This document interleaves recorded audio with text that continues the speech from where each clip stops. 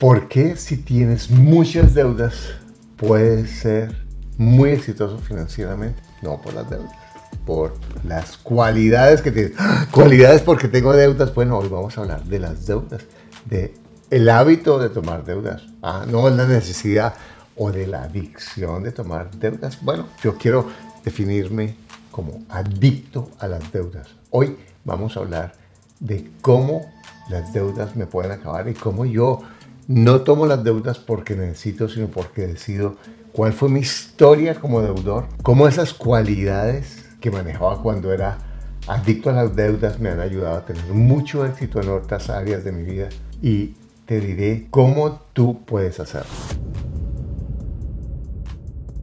Es muy fácil decir que tengo deudas porque tengo problemas económicos, tengo deudas porque mi salario es muy bajo, tengo deudas porque tenía muchos problemas. Todos tenemos deudas, pero una cosa es tener deudas y otra es solucionar todos mis problemas con las deudas. Durante años yo utilicé la deuda como mi recurso más importante. Increíble, llegó un momento en que la mayoría de mis ingresos era para pagar deudas y abrir un hueco para tapar otro. Yo llegué ahí sin darme cuenta. Cuando mi papá y mi mamá se separaron, uno de los problemas por los que se separaron es porque mi papá, que era muy trabajador, muy bueno en las ventas, que era lo que sabía, que como no tenía educación financiera, gastaba más de lo que ganaba, gastaba mucho más de lo que ganaba y aprendió con el éxito que tenía a endeudarse y a solucionar un problema con una deuda, un problema con otra deuda, un problema con otra deuda. Pero como tenía ingresos de vendedor, sus ingresos no eran permanentes, no eran fijos, subían y bajaban. Y si no había organización, él terminaba siempre acostumbrándose a gastar más de lo que ganaba. Cuando se terminó la relación con mi mamá, mi mamá quedó en una pésima situación. Éramos cuatro hijos. Ella apenas había terminado la primaria y comenzó a trabajar con mucha dificultad en lo que podía. Hacía flores, yo, ah, por eso a mí me encantan las flores, yo aprendí a hacer floreros con las flores de mi mamá. Y ella también, al comienzo, los gastos que tenía en la casa eran muchísimo mayores que lo que ella ganaba. Y tapaba ese hueco mientras empezó a ganar más dinero con deudas. Luego yo fui acostumbrándome a que la solución cuando no había plata eran las deudas. Y fui aprendiendo que la deuda era un recurso importante y era un recurso valioso y que uno conseguía esto mientras le llegaba y se volvió algo natural en mi vida. Y yo comencé a estudiar con muchas dificultades, salí de mi carrera de derecho y empecé a ganar dinero. Cuando empecé a ganar dinero, empecé a hacer lo que hacía mi papá, a gastar más dinero. Y como mi ingreso tampoco era regular, hice lo mismo que había aprendido de mis padres, que era bueno, yo gano buen dinero, solo que este mes estoy un poco mal, entonces voy a conseguir un poco de dinero. O cuando estaba en una situación mala, mi solución, más que cómo consigo el dinero o cómo hago para, para solucionar esta situación, yo pensaba, bueno, ¿cómo me endeudo? ¿Quién me presta? ¿De dónde saco? Pero ¿de dónde saco? Mi mente era, ¿cómo me endeudo? De esta manera fui llenándome de deudas. ¿Cuál es la característica? De adicción de una persona que tiene una conducta adictiva.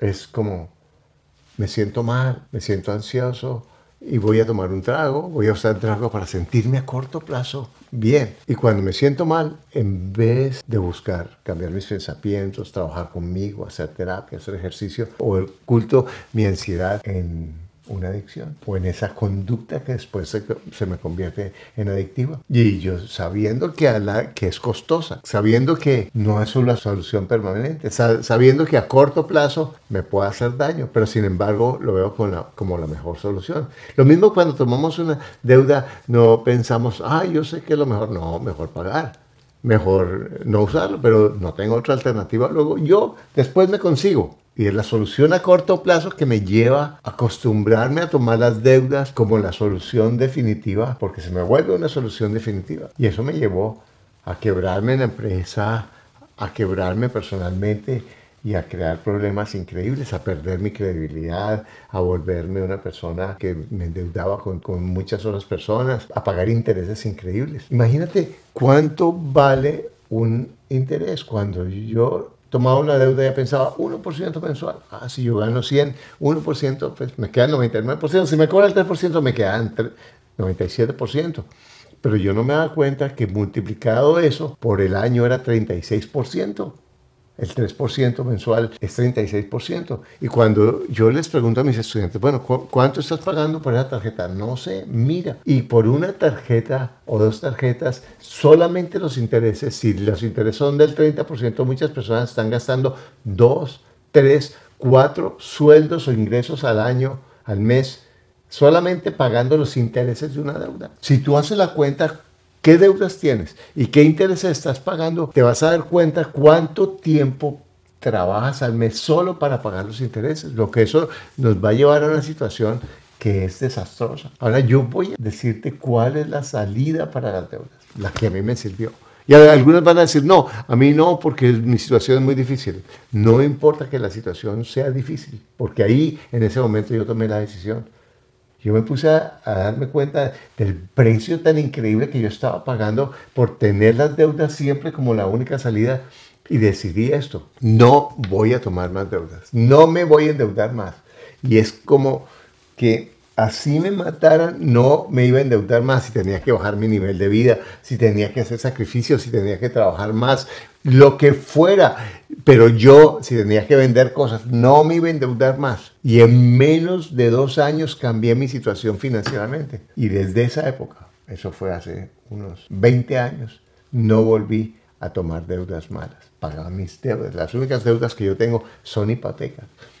Ahora, ¿cuáles son las cualidades que yo usaba para mantenerme endeudado todo el tiempo? Entonces yo era abría un hueco y tapaba otro, recursivo. Era disciplinado porque así fuera lo que fuera, yo me salía de un, de un punto y al fin de mes como fuera pagaba la deuda.